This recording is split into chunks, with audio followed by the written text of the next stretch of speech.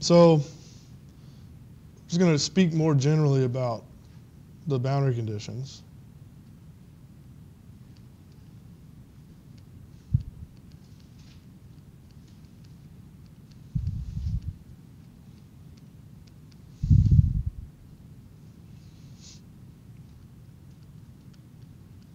So if we have a functional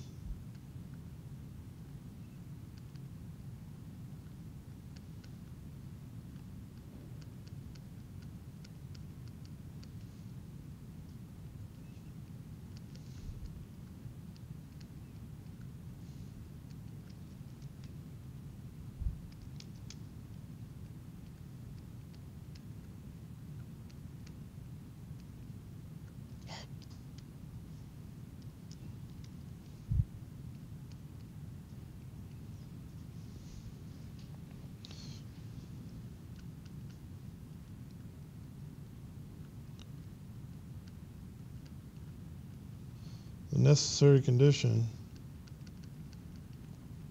for i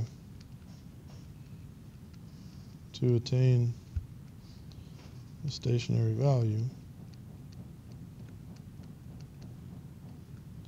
yields.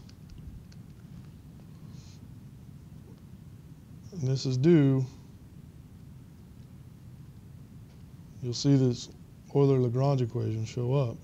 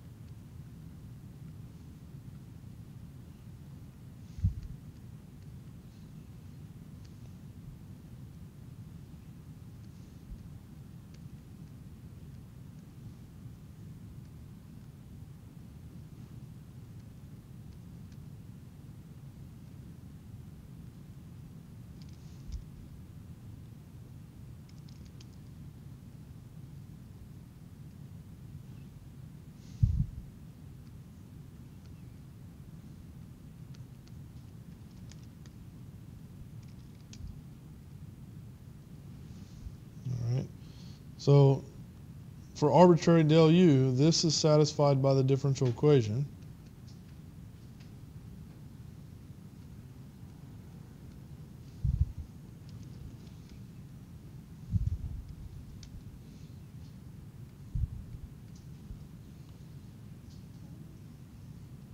And this must equal zero for a stationary value to exist.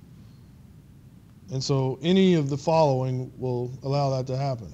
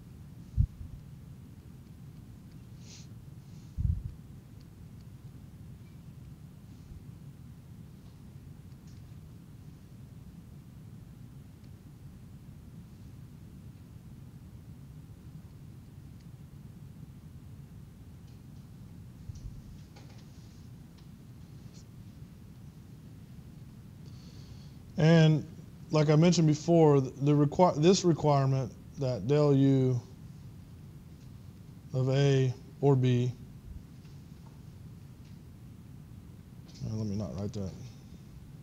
Might confuse you in your notes.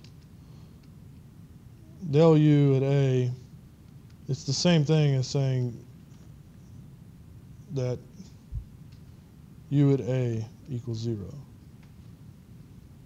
Same thing for B.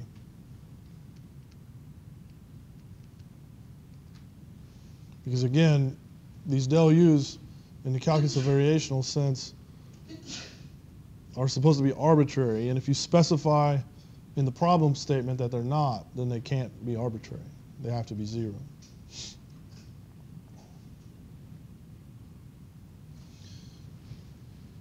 So when you have uh, purely essential boundary conditions like case one, a lot of times you'll see this or you'll hear it called the Dirichlet problem. And when you have mixed boundary conditions, you, you know, it's either mixed or sometimes they call it Robin, Robin problem. And when you have purely Dirichlet, like case four, then it's called a Dirichlet problem. So you'll see all those things in the literature.